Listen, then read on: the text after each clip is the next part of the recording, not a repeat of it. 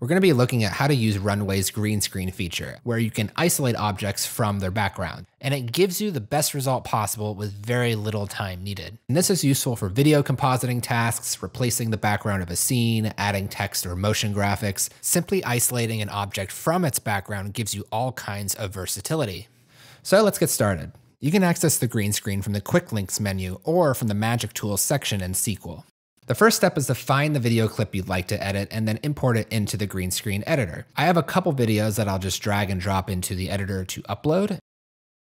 And once uploaded, we'll drag it into the composition. I have a video of a runner stretching in front of a lake. There's a few things to keep in mind when determining how well a clip can work with the green screen. Like in this clip, I'm not tracking multiple things. I'm just targeting one subject that clearly contrasts with the environment around it and is very much a focus. It's one camera angle with smooth and consistent motion. There aren't any reflective objects. The subject doesn't leave the frame and doesn't have any wild action that might cause motion blur or make the subject hard to detect. And of course, the quality of the mask is tied to the quality of the clip. If clip quality suffers from the beginning, it would be much more challenging to get a good result. I'm going to click on our subject we'd like to mask, and this will give us an initial mask that will be applied to the rest of the video. You can click multiple areas of the subject, which might yield a more precise result since you're giving Runway more information to detect. It's important to observe and identify what are the general colors or main visual attributes of our subject? Here, our subject is wearing black and yellow, the hair is also dark and almost silhouetted black, and then you also have her skin tone.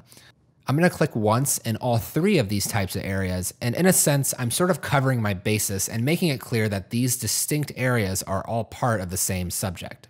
Let's go ahead and click preview and see what would happen if we were to apply just this mask to the entire video. And so far, so good. The mask is mostly over the subject. There's no bleeding of the mask into the background but also there's parts of the subject that aren't being masked correctly. And as you see them, you can pause on that area and continue updating the mask. You can add more points to include or select parts of the clip to exclude.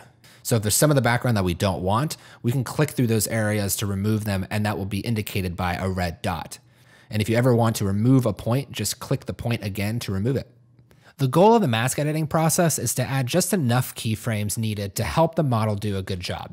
And you can see with just the little time I put in, it's given me very accurate results. So I like my video and I'm gonna go ahead and export it. I'll rename my clip and set the background to a solid color.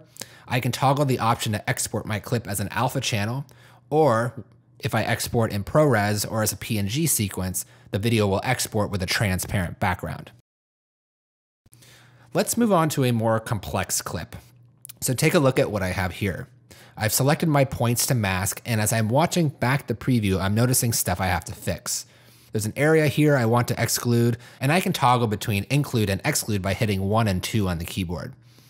If there are areas of the image that I want to manually include, areas that might be a little harder to catch, I can use the mask brush to manually draw my mask.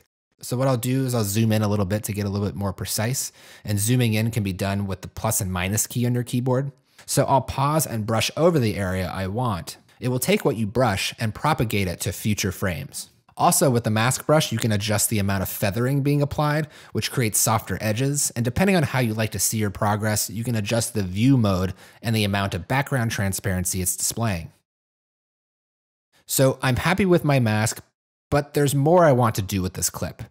You have options here that will insert your clip into a timeline now that I have my masked subject on one layer, I'm going to drag a new background that I uploaded underneath on the layer below it. So now I have two layers.